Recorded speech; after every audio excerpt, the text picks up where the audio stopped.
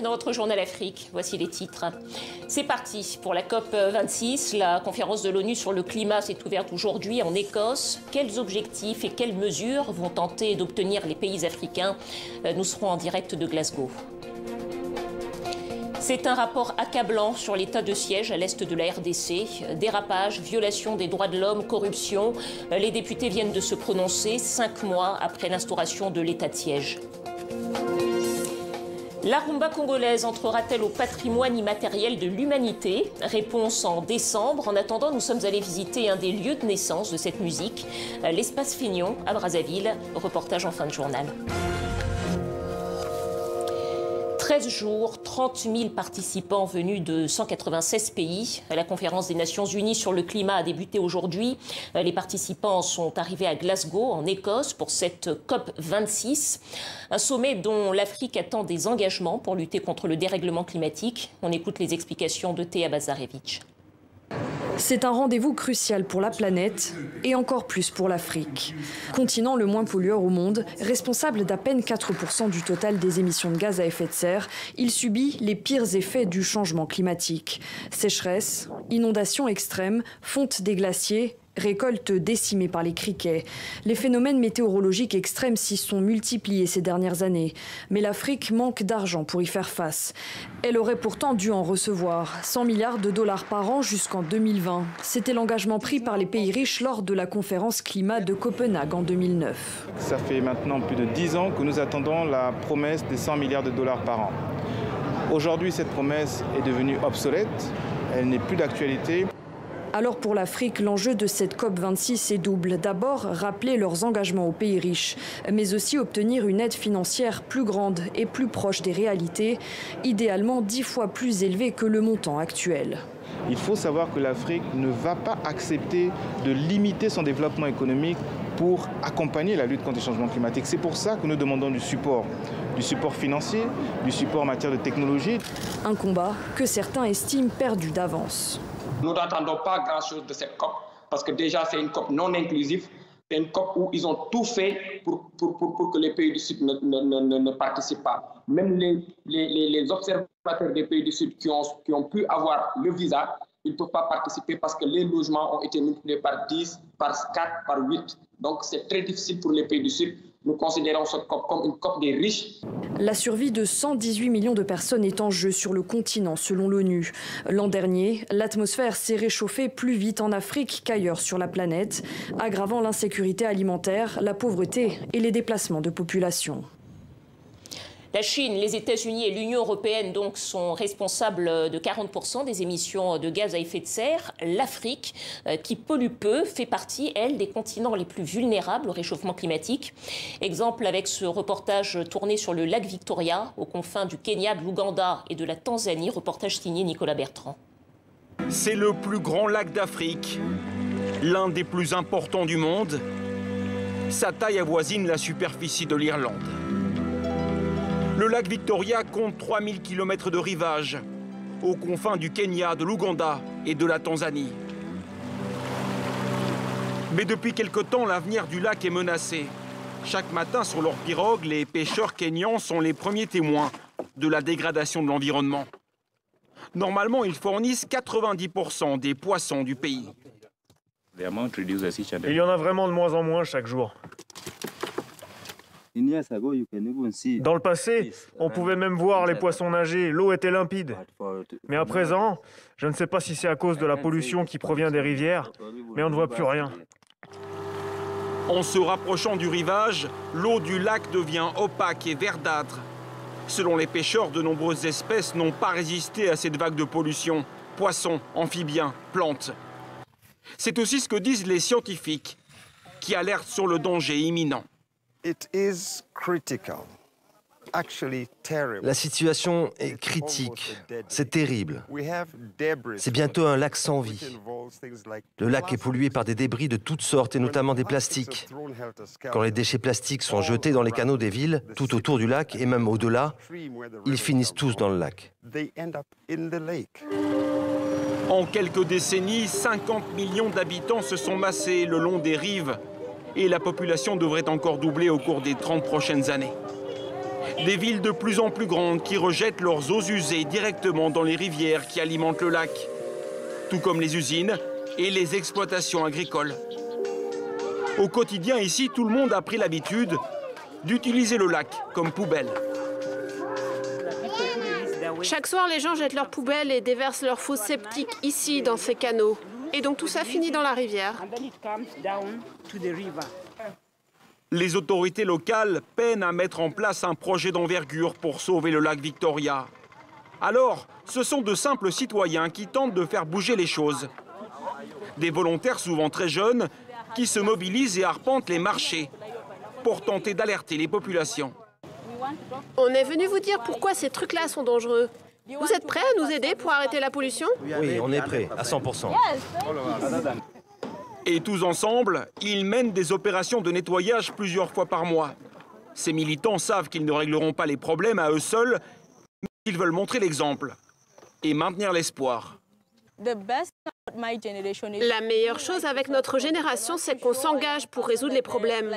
Et quand tu montres aux jeunes qu'ils ont une voix et qu'ils peuvent changer les choses, plus rien ne peut les arrêter. C'est possible de sauver le lac. Vous avez vu comme les écosystèmes se régénèrent quand on les laisse se reposer et qu'on arrête de polluer Il faut faire vite. Dans quelques années, les trois quarts des espèces de poissons pourraient avoir disparu du lac si rien n'est fait. Et une catastrophe écologique ici aurait des répercussions directes dans presque toute l'Afrique de l'Est. Et nous sommes depuis Glasgow avec Tosim Panoum Panou, négociateur senior pour la RDC. Bonsoir, bienvenue au Journal Afrique. Bonsoir. Alors, je, le disais, vous êtes euh, négociateur pour la RDC. Vous avez été également négociateur Afrique hein, pour les COP 16 et, 17. Euh, euh, peut-être juste pour commencer, comment ça se déroule ces négociations? Comment est-ce que vous travaillez ensemble, tous les négociateurs des pays africains? En disant que c'est une négociation où il y a 197 parties où chacun essaie de tirer la couverture de son côté. Et donc, si vous venez en tant qu'Africain avec juste la position de votre pays, elle sera très rapidement diluée puisqu'il y a tellement de, pays influents autour de la table. Et donc les pays africains se mettent ensemble, se coalisent, définissent une position commune qui tienne compte des intérêts des uns et des autres et vont ensemble la défendre. C'est un peu la stratégie du groupe africain qui euh, ensuite fait monter donc cette stratégie commune au niveau de la euh, commission ministérielle euh, africaine sur l'environnement. Et ensuite, cette stratégie commune monte au niveau de la, du comité des chefs d'État et de gouvernement sur le climat, qui s'appelle donc euh, le CAROSC. Et précisément pour cette euh, COP26, quelles sont les priorités pour le continent africain? Écoutez, la priorité des priorités pour le continent africain a toujours été l'adaptation. Nous sommes euh, le, continent qui contribue le moins aux émissions de gaz à effet de, de serre, 4% des émissions globales, et pourtant le continent est extrêmement vulnérable face aux effets néfastes du changement climatique. Donc la priorité des priorités demeure l'adaptation. Et bien entendu, euh, le financement, le nerf de la guerre, euh, est également euh, important. Donc, en venant ici, nous avons introduit deux points à l'ordre du jour. L'un portant sur l'objectif global de l'adaptation, et ce point-là été inclus dans l'ordre du jour. L'autre point que nous avons essayé d'inclure dans l'ordre du jour, c'était la reconnaissance des circonstances particulières de l'Afrique. Malheureusement, les pays d'Amérique latine ont fortement repoussé cette proposition-là et un processus de consultation par la présidence britannique de la COP26 a été mis en place pour voir comment est-ce qu'on peut tenir compte de cette euh, priorité-là des pays africains, parce que nous entendons que cette question-là soit prise en compte également, et si elle n'est pas prise en compte, euh, il y aura blocage. Peut-être pour être euh, très concret et très précis, euh, Ntosim Panoum Panou, il y a des objectifs notamment de financement. Hein. Le, négociateur Afrique Tanguy Gaouma a déclaré il y a plus que ça fait plus de 10 ans que l'Afrique attend les 100 milliards de dollars promis par an pour aider les pays en développement à faire face à l'urgence écologique. Est-ce que ça, c'est encore un objectif atteignable selon vous? Effectivement, à la COP 15 de Copenhague, donc en 2009, il avait été convenu qu'à partir de 2020, 100 milliards de dollars soient mobilisés par an pour financer l'action climatique des pays en développement. Euh, et euh, donc ces 100 milliards, malheureusement l'année dernière, en 2020, n'ont pas été atteints, puisque une étude de l'OCDE a établi que environ 79 milliards de dollars avaient été euh, mobilisés pour l'action climatique des pays en développement. Alors il faut bien comprendre que déjà, euh, cette étude de l'SCDE euh, est faite sur la base de projections et de comptabilité que nous ne comprenons pas très bien.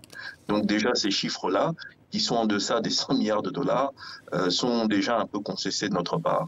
Alors qu'à cela ne tienne, 100 milliards de dollars, c'est un chiffre rond, c'est un chiffre politique qui a été adopté, mais qui n'est en rien en adéquation avec les besoins des pays en développement. Le groupe africain estime qu'il faut 750 à 1300 milliards de dollars par an pour financer l'action au sein des pays et donc euh, en développement. Et donc les 100 milliards ne sont pas suffisants, mais ils ne sont même pas encore atteints. Et donc c'est un objectif que vous allez tenter, euh, sinon de décrocher, euh, vous allez essayer de vous en rapprocher, j'imagine. Oui, on va essayer de pousser pour que donc euh, cet argent soit mobilisé, mais euh, d'après les décisions de la COP, euh, cet objectif euh, établi pour 2020 doit être réévalué en 2025. Et donc on voudrait que s'il soit réévalué, qu'il le soit sur la base d'éléments euh, scientifiques, objectifs qui puisse refléter un chiffre qui soit véritablement euh, en adéquation avec nos besoins. Qui plus est, ce financement climatique, nous voudrions qu'il soit essentiellement euh, du fonds et des prêts hautement concessionnels, parce que nous savons que le secteur privé, malheureusement, s'il euh, s'invite dans la danse, il viendra avec des conditions qui ne sont pas très favorables pour les pays africains, qui pour la plupart doivent financer des actions d'adaptation qui n'ont aucune logique en termes de retour sur investissement. Tossim Panou Panou, peut-être une dernière question en, quelques mots. Il nous reste assez peu de temps. Vous êtes le négociateur RDC. Vous avez précédemment été négociateur euh, Afrique. Euh, peut-être juste un mot pour dire quels sont les objectifs que va euh, tenter d'obtenir, quels sont les objectifs de votre pays, la RDC ah, La RDC vient à, à Glasgow avec une posture proactive nous ne sommes pas dans la victimisation. Nous savons que nous sommes euh, pourtant victimes de ce changement climatique. Mais la RDC vient avec un message très clair. Nous sommes un pays solution. La RDC, avec ses forêts, aide à la stabilisation du climat mondial. La RDC, avec ses minerais stratégiques aujourd'hui, euh, participe à la décarbonation euh, des mix énergétiques et de l'industrie automobile. Et la RDC, avec son potentiel énergétique en termes d'énergie renouvelable, euh, 100 000 mégawatts euh, de potentiel hydroélectrique, 90 000 mégawatts en termes d'autres énergies renouvelables, euh, telles que le solaire, l'éolien. La RDC peut aider à décarboner tout le mix énergétique africain. Mais la RDC, pour pouvoir euh, jouer sa partition, a besoin de renforcement de capacité de transfert de technologie, a besoin de financement. Ce Mais que vous allez donc euh, tenter de négocier à cette COP26 à Glasgow. Merci beaucoup, Tossim Panoumpanou, négociateur senior pour la RDC, ancien négociateur Afrique. Merci à vous. Je vous en prie. Des dérapages, des violations des droits de l'homme, euh, de la corruption, euh, ce sont les mots employés pour qualifier l'état de siège qui a été euh, instauré il y a cinq mois dans l'est de la RDC. Et cette fois, cette critique vient des députés congolais. La commission défense et sécurité de l'Assemblée nationale a rendu un rapport accablant. On écoute les précisions de Francine Mokoko, Amani Alimassi avec Simon Rodier. Depuis le début de l'état de siège, il y a plus de tueries, de massacres, de vols et de viols. Des militaires vieillissants, inefficaces ou corrompus sont pointés du doigt parmi d'autres scandales. Le rapport tape fort. Taxe de l'état de siège sur les populations, multiples tracasseries ou pire quand les militaires collaborent avec les groupes armés au détriment de ces populations. La société civile se satisfait de ces écrits et veut des suites qu'on se mette autour d'une table pour envisager de nouvelles stratégies pour réorienter cet état de siège. Parce que pour nous, l'état de siège, c'était une solution extrême. Et quand c'est une solution extrême, et si elle échouait, ça sera directement la, la débâcle et c'est la débandade et que donc euh, on risque même d'assister à, à, à, la situation de non-État au Nord Kivu. L'état de siège a déjà coûté beaucoup d'argent, dont une bonne partie ne serait pas allée sur le terrain. Pour l'un des rapporteurs, une enquête doit être menée à Kinshasa pour savoir où vont vraiment les fonds. On dénonce qu'il y a plus ou moins 68% des fonds qui ont été utilisés ou restés sur place ici à Kinshasa. On ne sait pas dans quel cadre. Vous allez vous souvenir qu'à un moment donné, l'inspecteur général de l'armée a découvert au moins 13 millions en cash. Bref, un état de siège en forme d'échec. Le rapport insiste également sur la corruption de juges militaires, notamment en Itourie. Les rapporteurs constatent un divorce entre l'armée et les populations civiles. Comment pourrait-il à la lecture de ce dossier qui a mis plusieurs semaines avant d'être rendu public au Soudan, la détermination du peuple face aux militaires.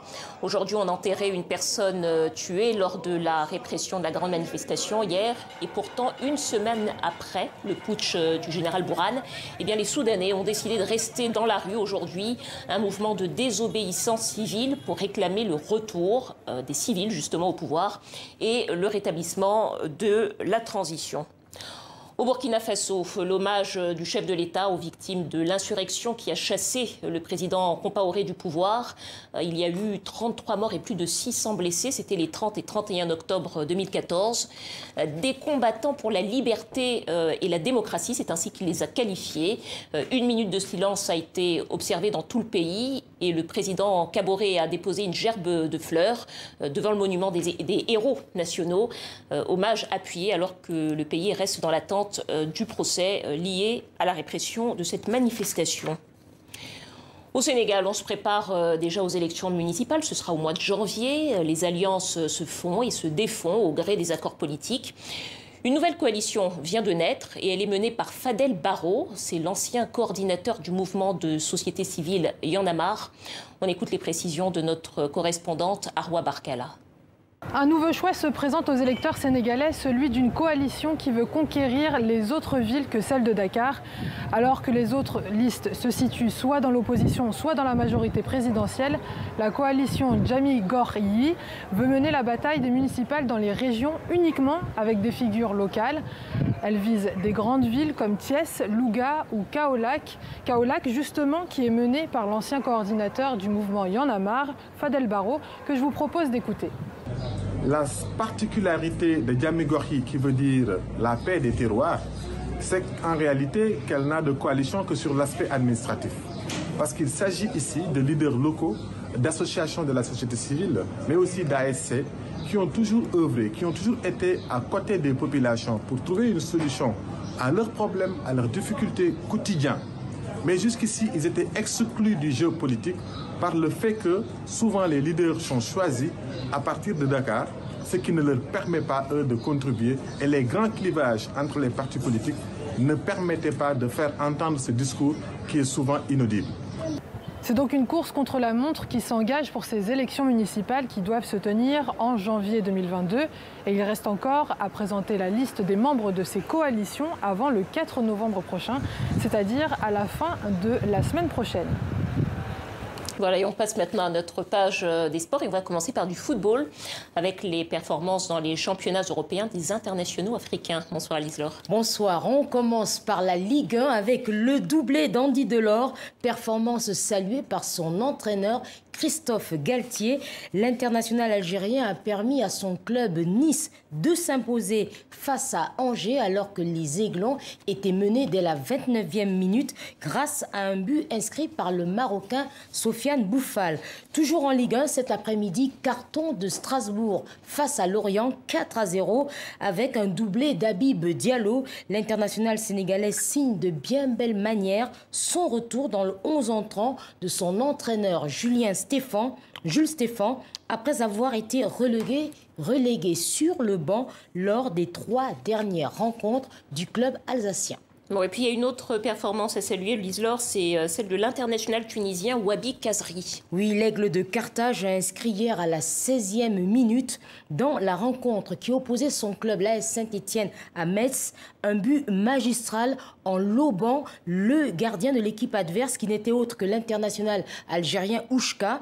En effectuant euh, cette frappe à 68 mètres du but adverse, Wabi Kazri détient désormais le record du but le plus lointain de la Ligue 1.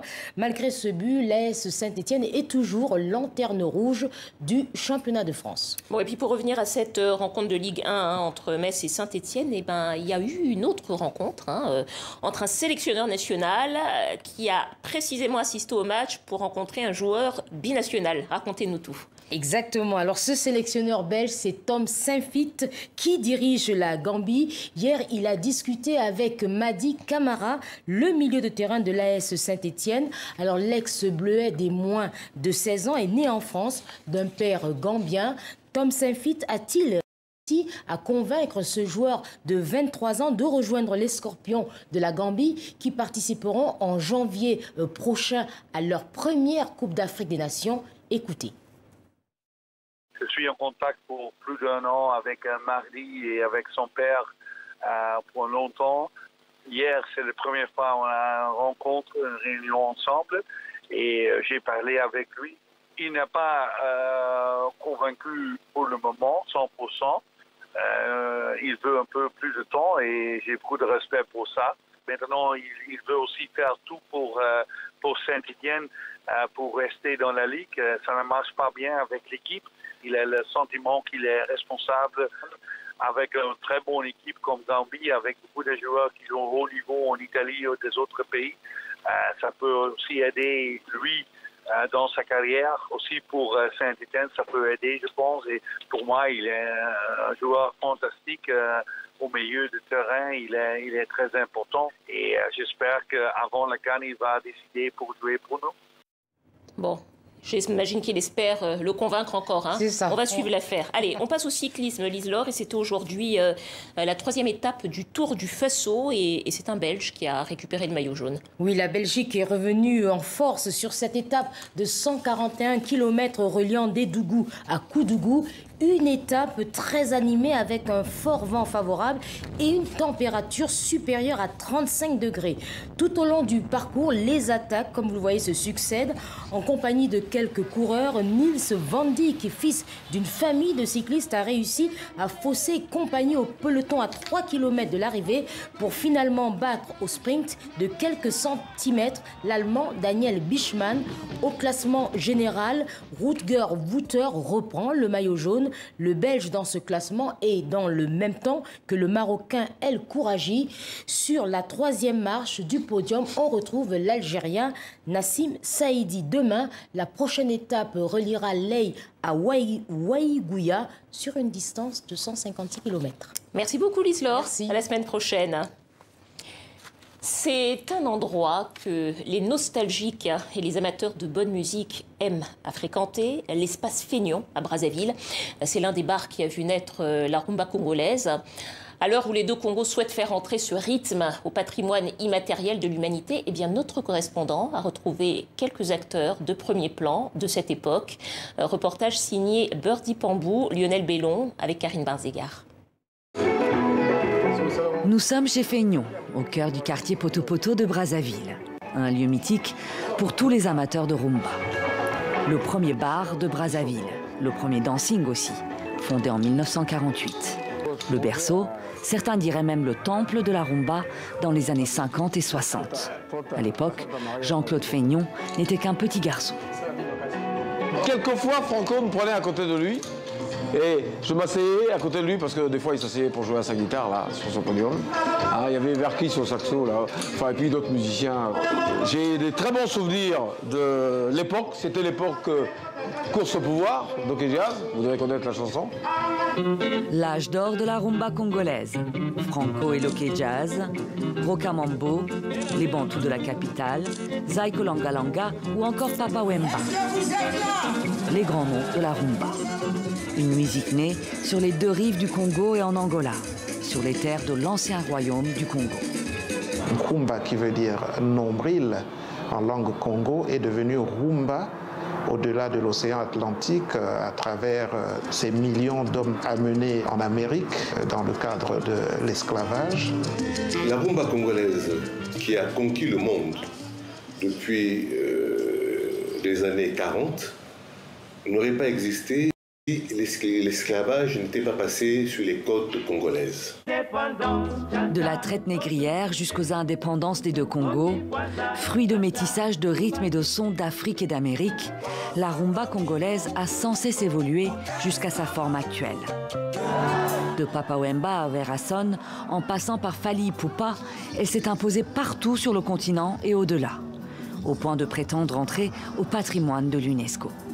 Ce n'est qu'une reconnaissance euh, pour euh, le travail abattu par ces créateurs, ces artistes, ces chercheurs, ces musicologues et tous ceux qui concourent, n'est-ce pas, au rayonnement euh, de la musique de la sous-région, mais aussi la musique mondiale, parce que la rumba a cessé d'être le patrimoine de la sous-région, mais devenait patrimoine mondial. En décembre, la rumba congolaise sera peut-être inscrite au patrimoine immatériel de l'UNESCO et rejoindra ainsi la rumba cubaine qui, elle, jouit de cette reconnaissance depuis 2016. Voilà, rumba congolaise au patrimoine de l'UNESCO, c'est une affaire qu'on suivra de très près. Merci à vous, c'est la fin de ce journal. Je vous dis à vendredi.